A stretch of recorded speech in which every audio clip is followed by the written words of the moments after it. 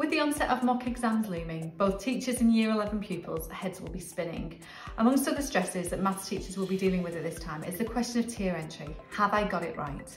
In an ideal world, maths tier entry decisions would be decided at the start of year 10 and no further movement between tiers would be required. And for the majority of pupils, this is what happens. However, we all know that it doesn't work like that for every single pupil. You can get the late bloomers, for which algebra and trigonometry have suddenly clicked and solving simultaneous equations and finding multiple missing angles now seem like a breeze. On the other hand, there are those pupils whose self-belief is slowly being eroded by not quite understanding the higher content. And the resulting lack of confidence in these pupils can sometimes be catastrophic on a higher paper, resulting in both an inability to even attempt the more complex questions and also in answering more accessible questions poorly. So as maths teachers, what can we do for these pupils? If you have already highlighted pupils that are standing out as being on the wrong tier for them, a movement to the correct tier is always better sooner rather than later. Then action can be taken to fill any gaps in learning as needed.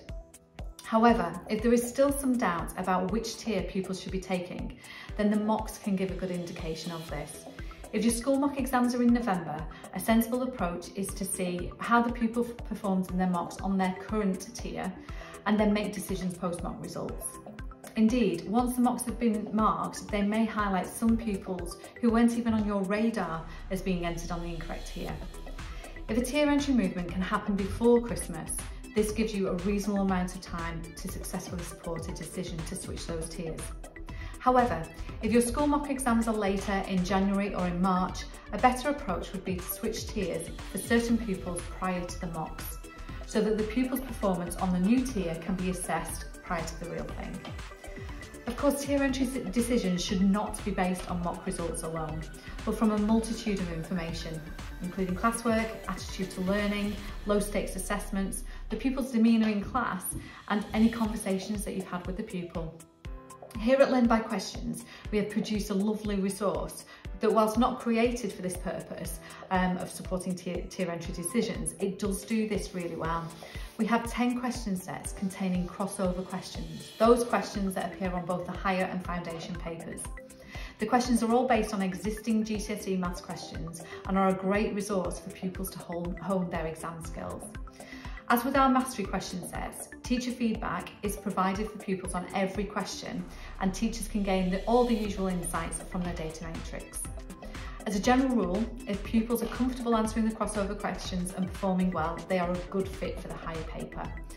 If they are struggling with the crossover questions, they are better off being entered on the foundation paper.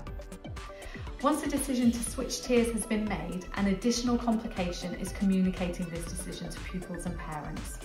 It is often the case that the pupil will be on board with the decision. Indeed, you will hopefully already have had conversations about this with the pupil. Pupils will either appreciate the challenge of being given the opportunity to try the higher paper, or they will feel more comfortable and likely to succeed on the foundation paper. The stumbling block can often be telling parents. I would always make a phone call at this point rather than sending a letter or an email as it's far more personal. It also gives the parents an opportunity to ask questions and raise any queries. Parents will always be interested into why uh, decisions to switch tiers has been made.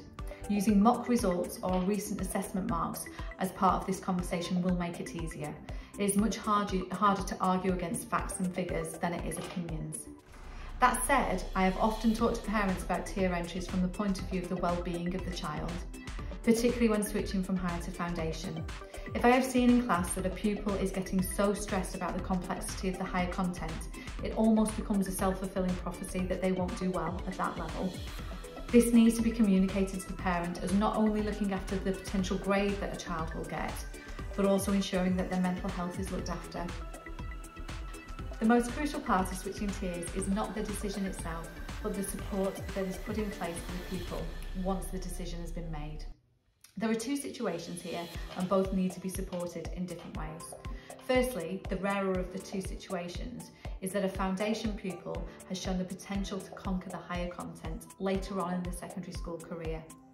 The biggest issue here is that they will have missed out on the teaching of a huge amount of higher content.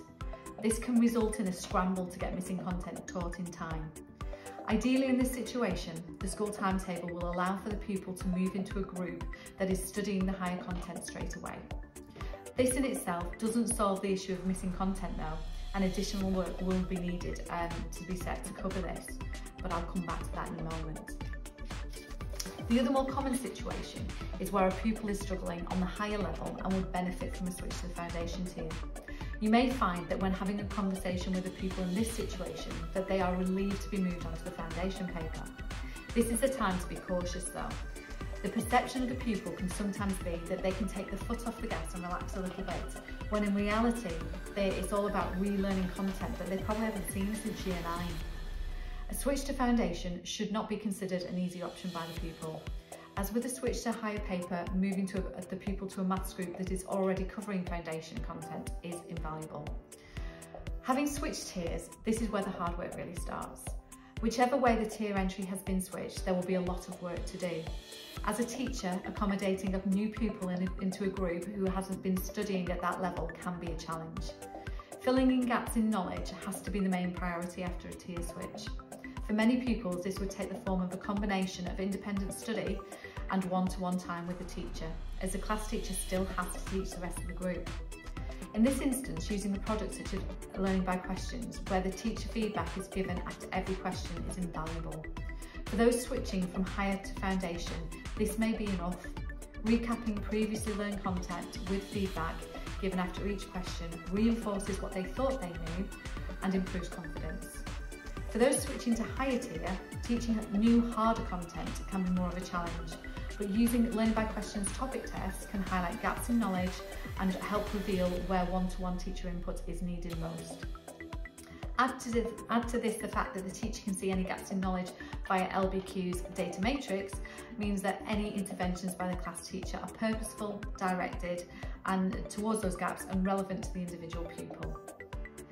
Making decisions to tier, change tiers should not be taken lightly, especially as you get nearer to the end uh, date of the final exam.